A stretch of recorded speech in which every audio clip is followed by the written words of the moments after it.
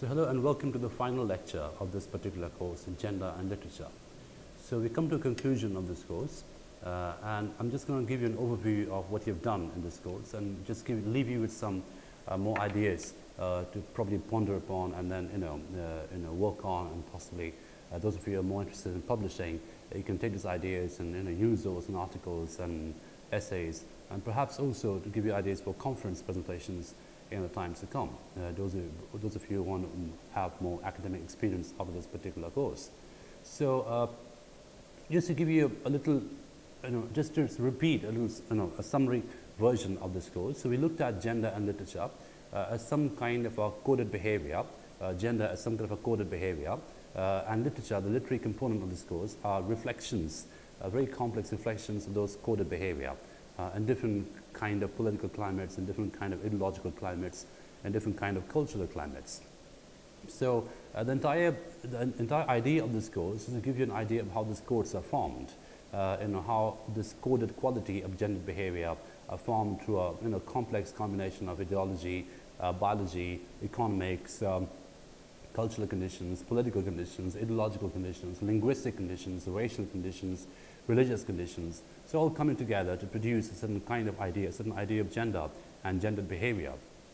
Right? And obviously uh, the combinations change, the codes change, uh, and depending on and other, other kind of external changes like economic changes.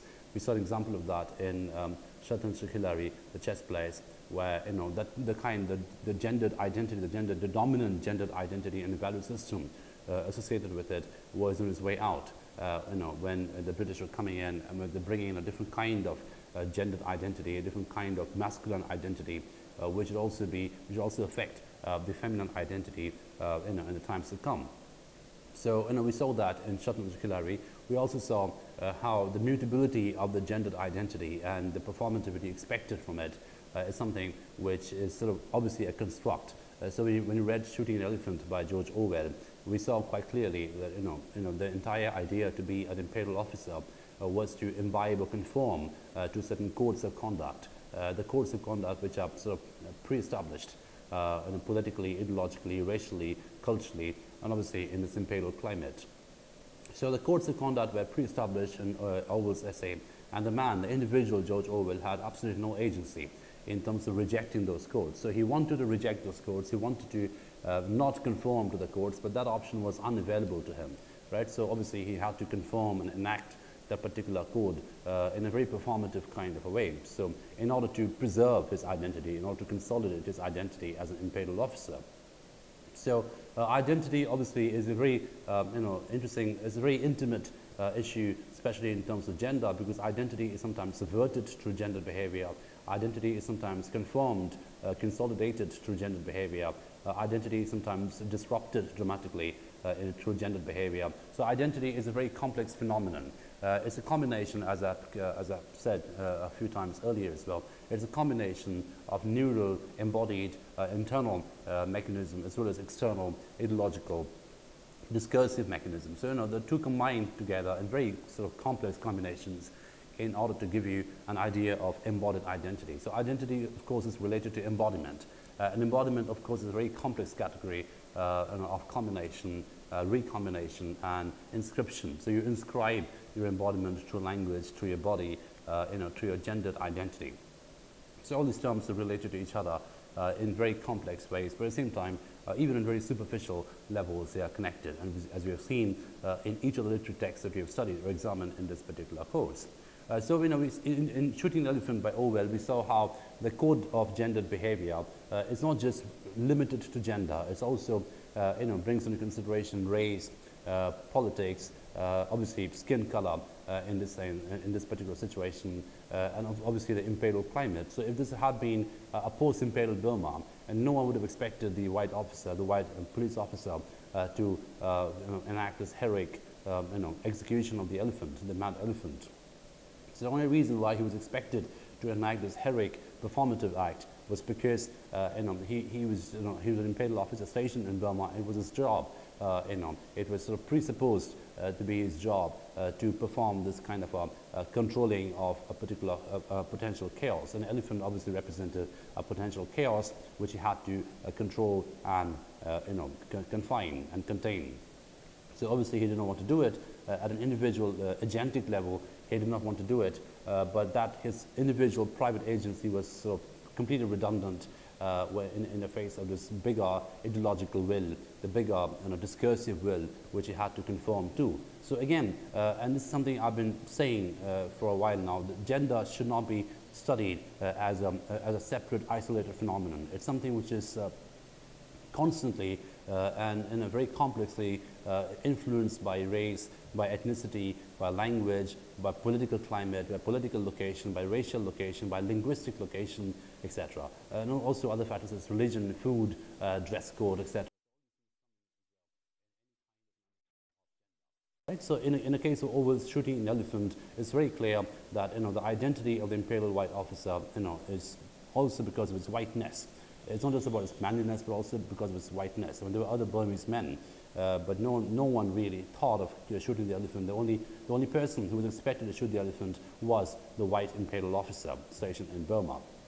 So, you know, so uh, these, I mean, these are the factors, these are the combinations which keep coming back uh, in any reading of gender, in any understanding of gender, right? And so you cannot possibly divorce gender from these other uh, vectors, from these other coordinates, uh, um, such as race, such as ethnicity, such as politics, such as culture, uh, such as language, uh, you know, and you can, you can name many more factors as well right? So, you know, we saw that in shooting an elephant. But also when it came to, uh, when you arrive at something like Heart of Darkness, uh, which is quite explicitly racial, uh, explicitly divided racially. So you have this uh, African people in the Congo who never speak. Uh, their third person presences because they're spoken about. Uh, they're represented through the prism of the white man. So no, no African, no non-white person speaks in Heart of Darkness. So no subaltern speaks in Heart of Darkness uh, which is again a very political thing. The silence of a subaltern in Heart of Darkness is very political silence, like most silences are in political situations. So in Heart of Darkness, we see uh, it, the question of representation becomes problematic because you know the white man wants to represent uh, the experience of the non-white space, but he fails to do it. And the white is a fail to do it because he's using the mechanism, uh, the rational narrative mechanism of the white man, which does not work which does not work you know, to describe uh, a situation which has nothing to do with white rational morality. So he's in a space, again, the question of space becomes important, something which we uh, spent a lot of time with uh, in the last lecture. Uh, you know, he's in a space which where this rational mechanism, this white Christian rational mechanism will not work. And again, this is a very clear indication of the relativist location of morality, of rationality, of gender identity, uh, dependent on particular spaces. So uh, only in certain spaces will that mechanism, will that apparatus be operative. So it will not be operative in certain other spaces, like when what happens in the Congo cannot be described using a rational narrative network of the white man. And so the entire narrative of Heart of Darkness is an anti-narrative in that sense. It's an anti-novel in that sense. The entire novel is about a failure to write a novel, the failure to tell a story of what happened in the Congo. Okay, so this is what uh, transpires in Heart of Darkness. So again, we see gender in Heart of Darkness is a very, very uh, complex combination of race, uh, spatial location, ideological location. So, you know, Marlow, by the end of Heart of Darkness, has moved away uh, from looking at imperialism unequivocally as a noble Christian enterprise so he's more ambivalent about imperialism by the end of Heart of Darkness. He's more ambivalent about the goodness of imperialism. So he's not sure if imperialism is a good thing or a bad thing. So he, he's sort of tending, he's gravitating, he's shifting towards looking at imperialism as a negative enterprise. And that obviously uh, affects his embodiment, that obviously affects his gender identity. So no longer is he a strong white man. Uh, he is now a neurotic, nervous white man uh, because of this political ambivalence. So again, something like political ambivalence, something like emotional ambivalence, it affects your gendered embodiment. So Marlow is far from being uh, the potent, clinical, complete, adequate masculine self. So he is this nervous, neurotic, unreliable, uh, you know, uh, male narrator who really cannot go on with the story, who cannot really complete his story, uh, and who sort of who's extremely, uh, you know, given to nervous, nervous experiences, who's extremely given to nervous conditions, uh, and which affects his gendered identity. So he's, he's really uh, nowhere, uh, you know, comparable to our quote-unquote hegemonic male self. So there's no hegemony in Heart of Darkness. There's no dominant male self in Heart of Darkness, and a woman in Heart of Darkness. They appear uh, as, they're represented as apparitions. Uh, so they, they are exotic presences or very passive presences uh, you know, whose entire location in the novel is, uh, is very, very problematic. So they are, uh, you know, their negotiation with patriarchy, their negotiation with capitalism, the negotiation with imperialism is very, very complex. Uh, so we have the, the novel, the, the woman in the Belgian office, before Marlow goes off to Africa, they sit there like, you know, sort of ominous apparitions. So he's very threatened by the presence. It's very, he feels almost castrated by that presence. He feels as if they're gazing at him in a way which makes him unsettled. And then, of course, um, the other woman who appears in Heart of Darkness subsequently is Kurtz's intended, uh, know, who doesn't speak, but who's exoticized uh, systematically uh, for the male imagination. So the entire European white male imagination exoticizes her. And again, look at the way how the representation of gender is done through the prism of race. Uh, it's done through the prism of a political condition such as imperialism. So if Marlow had gone there as a tourist and not as an imperial officer, his representation of the woman may have been completely different, uh, you know, from that of what he actually does in Heart of Darkness. So again, the location of Marlow as an imperial, uh, imperial agent, not an officer, as an imperial agent. He works in a, uh, in, in, a particular company in, in, in Congo, a Belgian company, which uh, obviously sells ivory and is a completely exploitative company. Uh, he works there. And you know, it is through that prism of the worker in an imperial company that he sees the woman in, in Africa. And so his representation of the woman is sort of completely uh, affected by his location, uh, where he is, uh, you know, emotionally, illogically, uh, and also existentially. So obviously the other woman in Heart of Darkness, uh, intended, uh, doesn't speak except in very, very moral, elegant mourning tones. So he's a very, uh, in a romantic, she's a very romantic mourner. So she mourns for the death of the romantic hero. She thinks is a romantic hero. So Kurtz's death too is a very gendered phenomenon. So Kurtz, Kurtz is preserved in the European imagination, uh, in the female white imagination, the white female imagination as a romantic hero, as someone who you know gave his life for a very good cause. But obviously we know we know different, we know better. We know that he died a very sorry death having become something of a, uh, you know, a machine, an automaton, uh, you know, consumed by greed, consumed by, uh, you know, you know, the drive to make more profit, and also became a rogue agent of imperialism. Uh, and so, uh, you know, he died a very, very tragic death. But of course, he also died a death with the knowledge of his nothingness. Right? So again, knowledge, as we mentioned in Heart of Darkness, something as abstract and something as inanimate, quote unquote inanimate as knowledge, too is deeply gendered in Heart of Darkness, right? So, you know, it's a knowledge which is accessible only to men. So Kurtz has a first-hand knowledge of the horror of imperialism. Marlow has a second-hand knowledge of the horror of imperialism. And Marlow's male listeners have a third-hand knowledge of the horrors of imperialism. But of course, uh, the, the female in Heart of Darkness, uh, the European female in Heart of Darkness, who Marlow comes back to, uh, she is deliberately lied to, uh, you know, in terms of uh, really knowing what transpired or transpires uh, in the colony. So she, she's not told. She, she still keeps consuming this notion of imperialism as a noble, grand uh, narrative of uh, you know, rescuing mission, civilizing mission, etc. Right? So she is misinformed and she's lied to in every which way, in every sense of the term. So again, knowledge becomes a deeply problematic, discursive, and gendered entity, a category in Heart of Darkness. So this is in keeping with what I've been saying uh, in throughout this course, that you know, we need to look at gender uh, beyond the human uh, category. We need to look at gender beyond the organic category. It's not just about uh, man and woman and animals uh, and the organic animate life. It's also equally about the inanimate uh, entities who are discursively filled with gendered you know, identifications, with gendered markers. you know, markers of certain kind of genders. Of course, this markers is mutable, as I mentioned. you know, everything about gender is mutable. It's sort of changeable, mutable, uh, it changes according to the external conditions, uh, the external political, cultural, ideological conditions. They all govern the change, which informs, um, you know, gendered identities. So the, the main thing that I would like you to take from this course is an understanding of gender as a text. Right? So gender is a textual category, and like every text, it is textually produced uh, through a variety of abstract uh, and material apparatus right? And of course, the, the, the, the, merge of the material and absolute apparatus in the case of gender is a very asymmetric merge. We can't really quantify or calibrate it uh, in its entirety. But the reproduction of gender as a text is something that we should be aware of as students of gender, right? Because that would enable us uh, to not consume gender unquestioningly right? So this is something we are aware of. This is something that we are very, very, uh, you know, we should be sensitive to the textual production of gender as a, as a category of knowledge, as a category of embodiment, as a category of location, as a category of privilege, as a category of loss, right? So because, you know, gender is something uh, which, uh, which we, uh, as I mentioned at the very beginning of this course, is something that you suffer sometimes, it's something that you enjoy sometimes, it's something that you are privileged with sometimes. Okay? So, you know, it's a very textual mode of production. So the textuality of gender is something that we should be deeply aware of in, in, in the course of this study.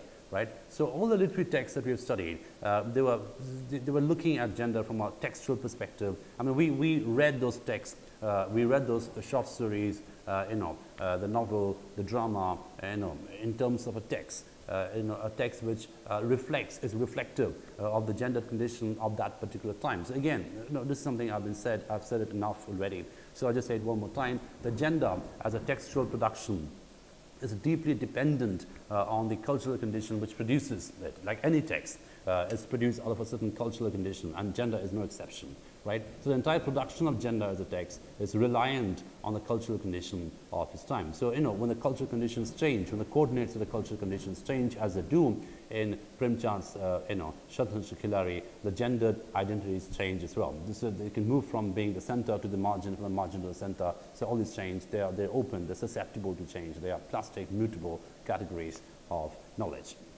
So um, the texts that we studied, uh, they are deeply reflective of the cultural conditioning of gender, of the mutability of gender. So in, for instance, in Mansfield's Fly, uh, the boss, the protagonist in the short story, the boss, he travels eventually from being this dominant uh, male self who's rational, in control, uh, stoic, uh, this very, very strategic mourner, the strategic rememberer of loss. From that position, he moves on to very quickly, not quickly, to a very painful process of loss, to someone who is completely liquidated as a human being, someone who's completely impoverished as a human being, uh, someone who's sort of moved away definitely from the position of privilege. So by the time we come to the end of the story uh, in Mansfield's Fly, no longer is the boss uh, enjoying his particular gendered identity. So he's suffering his gendered identity because it's, it's spectacularly relevant, it's spectacularly evident, sorry, that he is uh, you know, a frail old man as well, just waiting for his death to come and consume him. So no longer is he in control of his life, no longer is in control of time, no longer is in control of memory, but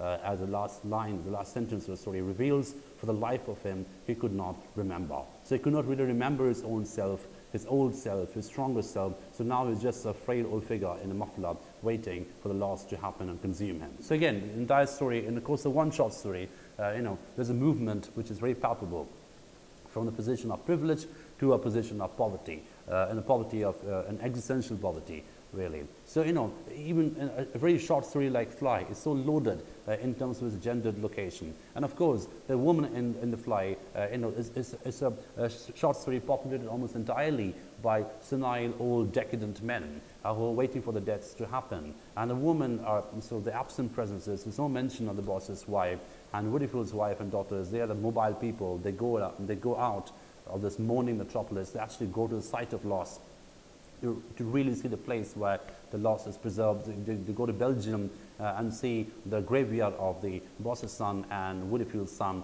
and they come, come back and give the reports to their husbands who do not move. Uh, who do not, who are unable to move. So again, the entire gendered map uh, of power, privilege, and poverty is sort of inverted in, in, in the fly. So we have these old men uh, who otherwise uh, sort of, they, should be enjoying positions of power, positions of privilege, but instead we see them mourning, grieving, uh, not able to remember. We see them so almost amnesic, you know, they can't really remember what happened to them, and that obviously affects the embodiment. That obviously is, you know, compromises the embodiment to a great extent. To the point that uh, you know the entire gendered identity uh, is sort of you know it, changes in the course of this uh, short story. So Fly is a very potent short story, despite its brevity, it's a very potent short story, which gives you a very fun example of the movement of gender from a position of privilege to a position of loss. Right? So how these identities are configured and reconfigured, coded and uncoded and recoded uh, to various social, existential, and political conditions right? So by the time we come to Heart of Darkness, which is the final uh, text which we covered in this particular uh, course, we find, uh, you know, again, it's, it's, it's, a classic example of the textuality of gendered identity. So Colonel Redfern who's Alison's father uh, in the drama. So he used to enjoy a position of privilege in terms of gendered identity. So he was this imperial uh, officer stationed in India. So he was obviously leading the Maharaja's army, as we are told. Uh, you know, he was someone who's very used to being waited upon. You know, suddenly the political coordinates change. Uh, India become independent, uh, and imperialism comes to an end. And he finds himself back to Britain uh, in, a, in, England he doesn't really recognize, where he's not really the hero anymore, where he's really not someone who's looked up to anymore. He's just a nobody and can't come to terms with it. So again, his gendered location, like the boss in the Mansfield's Fly, moves from a position of privilege to a position of powerlessness. So he's completely confused. He's sort of existentially, politically, uh, you know, emotionally confused uh, in this particular play. Now, when it comes to Jimmy Porter in Heart of Darkness, we find him quite clearly uh, embodying and exhibiting uh, a, a, a, form of gendered exhaustion. So his masculinity is a very exhausted masculinity. He doesn't quite know uh, how to assert himself except screaming from his armchair uh, very, very ineffectually, right? So he is someone who doesn't know, uh, you know his location in life. So again, Heart of Darkness is a very classic example of how gendered identities are permeated and you know, um, you know, affected by class identity. So Jimmy Porter's identity as a working class hero is really uh, you know, interesting because on the one hand it comes from an educational background. He's been to university thanks to the 1944 Education Act which you know, enabled him to get free education uh, and of course, that didn't give him a job. Uh, so he finds himself running a street stall despite his education. So he's somewhere uh, located between classes. So it's a very liminal position. We talk about liminality in the earlier lecture. So again, his entire liminal position in terms of the general identity is something that we need to be aware of when we're looking at Heart of Darkness. And of course, there are other characters in Heart of Darkness who embody different kinds of general identity with different moral uh, luggage. Uh, you know, um, Alison, uh, Jimmy's, Jimmy's wife, she obviously comes from a privileged imperial background, but now, like her father, she finds herself in a position uh, you know, where she's confused, where she doesn't know how to fit in. Uh, she's married to this person who's a working class person, but at the same time a university educated person, and she doesn't quite know how to deal with that situation. And so she suffers a loss in every sense of the word. She, she suffers, her loss is biological, her loss is physical, her loss is tragic. So she's a truly tragic character in look back in anger. So she becomes a recipient of violence, male violence, abuse uh, from, uh, from her husband, uh, you know, neglect from her family. So she, she emerges as someone you know, who can be seen as a symptom uh, of the, the, condition of England at that time. So it's not really a male-centered play. So, you know, the, there's a dominant reading of Look Back in Anger looking at it as a male-centered play. But I look at Alison Redfern in Look Back in Anger as perhaps the most complex character in Look Back in Anger because she moves in a position of privilege to loss, but at the same time, her entire identity is mediated by the male presence around her. So she, hers is a truly tragic character, hers is a truly tragic condition.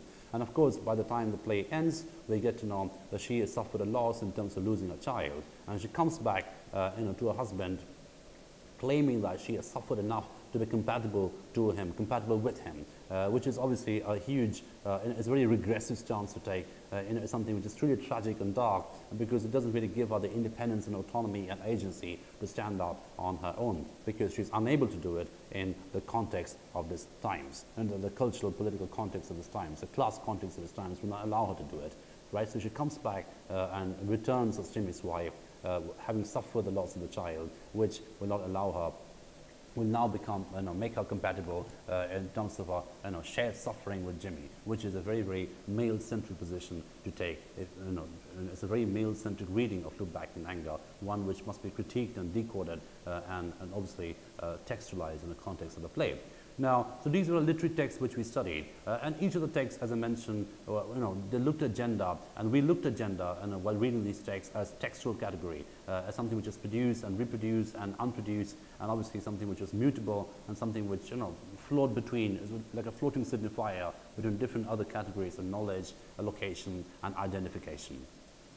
Now, when we came to the last segment uh, of this, uh, you know, of this course, when we looked at the advertisements, uh, the, the popular advertisements, the popular media representing gender, the representations of gender in popular media. So we find that even in mainstream media, even in media you know, consumed by quote unquote liberal, uh, you know, educated people, and uh, we find a huge amount of sexist binaries. So it's very dualistic, uh, you know, sexist binaries where we talk about men behaving in a particular way, men desiring a certain thing, women desiring certain other things, and two never mix with each other. There's sort of complete division in gender identity and desire is something that we, you know, we, you know, it's almost shocking when you see advertisements such as you know, the Heineken advertisement or the Fair and Handsome advertisement which we saw, uh, you know, and um, you know, the, the, entire idea is to sort of consolidate the division between the men and the women, between the male and the female, and to look at desire as a gendered category as well. So desire, an affect, you know, you know obviously it's an affect, and it's an affective, an affective association,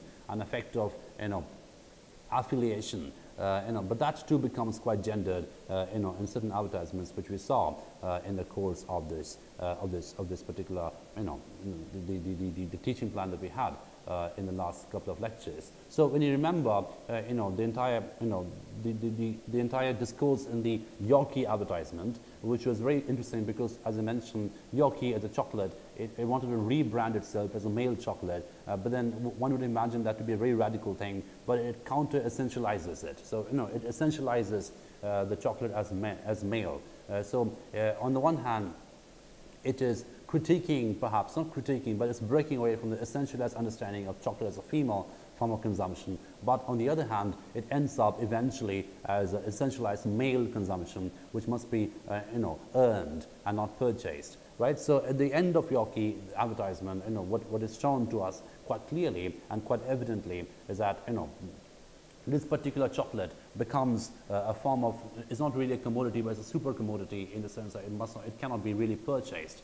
Uh, it must be acquired, it must be deserved, it must be earned through some metonymic markers of masculinity. Uh, and if you don't have those markers, you know, you, you, don't really get the chocolate at all, which is obviously a very problematic depiction of a commodity, branding it so, so heavily uh, and so heavy-handedly uh, as masculine or feminine.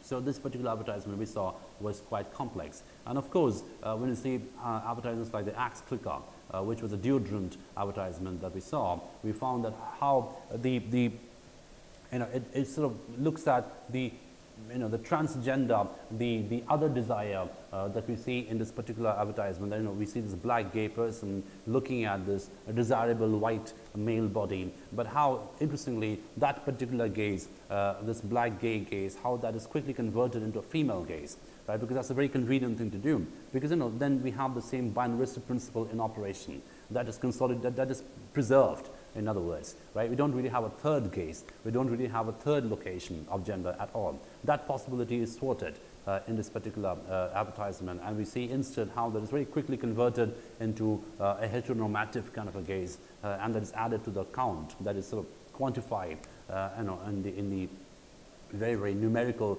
understanding of uh, heteronormative gaze, which we see in, in the particular advertisement, the Axe Clicker advertisement. And of course, the commodity at the end of the advertisement, it appears as an intervention of this kind of a fantasy. It appears as an intervention of this kind of uh, gaze. Because, you know, what we see at the end of the advertisement is that the person who is, um, you know, uh, inferiorly embodied, you know, is not really, you know, a superior embodied person. He's an inferiorly embodied person in terms of his physical size, in terms of his looks, in terms of his objective you know, uh, you know, embodiment in that kind of a cultural location. There is no such thing as objective embodiment, but it's objective in as much as it is, you know, re relevant to that particular cultural location, in that particular cultural desire. He's, you know, objectively speaking, in that particular cultural desire, he is someone who is inferior in terms of his embodiment. But however, that inferiority can be bypassed by consuming that particular commodity. So that, that particular deodorant that we see at the end of the Axe Clicker, uh, you know, that would elevate him uh, in, in, at, at, an embodied level and would give him the, the ticket, the license, uh, the access to a very privileged position of desire, of being desired, you know, at. So he's sort of looked at, he's gazed at, and that too has been quantified, of course, uh, you know, by his clicker as well right? And finally, uh, the last lecture, which we almost entirely spent on looking at you know, the relationship between gender and space, we found out how interestingly uh, know, the, the, spatial production of gender actually corroborates the textual process. The fact that we just said the gender is a textual production, and that is corroborated actually by the very speciality of the production, the very spatial nature of the production, how that is sort of related to a particular space. And if you divorce it from a space and put it in a different space, there'll be a different kind of production. So Johnny Fontane, um, in that particular scene of The Godfather, he would have been a very masculine person, perhaps in a different kind of space. But because he finds himself in a mafia space, a Machiavellian clinically cold men uh, who are basically contract killers and discuss these kind of you know, details in very cold uh, precision. You know, he finds himself uh, inadequately masculine in that kind of a setting, despite his biological maleness. So, you know, he becomes uh, an insufficient embodiment, an instance of an insufficient gendered identity in that particular space, only in that particular space. And somewhere else he might be an alpha male, and somewhere else he might be a dominant male, and somewhere else he might be a hegemonic male. But because he finds himself in that kind of a setting, uh, he is obviously the non-hegemonic, um, you know, masculine self who's laughed at, who's jeered at, who's lampooned in a very grotesque kind of a way, and eventually sent off you know, uh, to this female space where, uh, you know, he, he inhabits, uh, you know, because there was insufficient masculinity. So again, the, the idea of insufficient masculinity, the idea of a dominant masculinity is very space-based, right? And there's no objective understanding of this. The, the, the entire idea is relatively produced. It's a relative reproduction uh, of masculinity, femininity, and the coded quality of these reproductions, right? So we need to be aware of the coded quality of these reproductions to be, you know, do, do a full and faithful study of scenes like this. So just to conclude my uh, reading, it's absolutely imperative for us who are students of gender, uh, who are interested in gender, especially the way gender is reflected and represented uh, in uh, different cultural media, uh, in, in, literary media, in cinematic media, and visual media. It's absolutely imperative for us to be aware, uh, to be sensitive, to look out for the for the textual encoded quality of such uh, you know, representations, right? And it's also equally important for us uh, to be aware and sensitive to the cultural condition which produces those codes in the first place. So what would be a certain kind of a coded production in a Western liberal world, uh, a quote-unquote Western white liberal world, would be quite different uh, from the codes of production which go into the making of gender identities in a non-Western world right? Um, say, for instance, what would be uh, a, a, particular gendered identity in Lebanon would be quite different from you know, same uh, kind of gendered identity in London. So London and Lebanon would have very different codes of gendered identities uh, for men, for women, for children, for inanimate matters. You know, because you know, the entire idea uh, that I want you to take from this particular course is that the, the, context sensitivity of this course is very, very important. So the very coded quality is because of its context sensitivity. So you cannot study the codes by taking away the context. So if you're looking at the Lebanese kind of masculinity and a Londonesque kind of masculinity, the Lebanese femininity and the Londonesque fem femininity, it's absolutely imperative that you do a cultural study of that particular context. Only then will be able to find out or decode you know, the process through which the identities are formed and reformed and, you know, and move on and consolidate and become dominant or marginalized and so on. So uh, this brings us to the conclusion of this course. Uh, I hope you enjoyed, uh, you know, you know, studying it. I hope you enjoyed looking at the text that we did. I hope you enjoyed, I hope you take away something permanent from this course. And of course, uh, you know, hopefully this will give you some ideas, the, the, the idea of gender as a text, then the, the idea of gender as a code, the idea of gender as a performance, the idea of gender as an embodiment, the idea of gender as a process through which uh, you attain an identity and then of course you reproduce it and you deconstruct it uh, to different kinds of cultural vectors. So all these ideas will hopefully help you uh, help you in the times to come in terms of looking at gender from more complex perspectives. Uh, you know, not just in academic circles, not just in uh, intellectual circles, but also uh, in the very daily, mundane uh, reality around us that we consume and internalize every day. Right? So the point is to question the consumption, to interrupt the consumption, you know, to sort of deconstruct that consumption and ask some uncomfortable questions about why we consume in a way we do consume. Uh, and, and, that was one, that, that's the one thing I would like you to take from this particular course. So I hope you enjoyed doing this course and I look forward to seeing you again in the times to come. Thank you very much.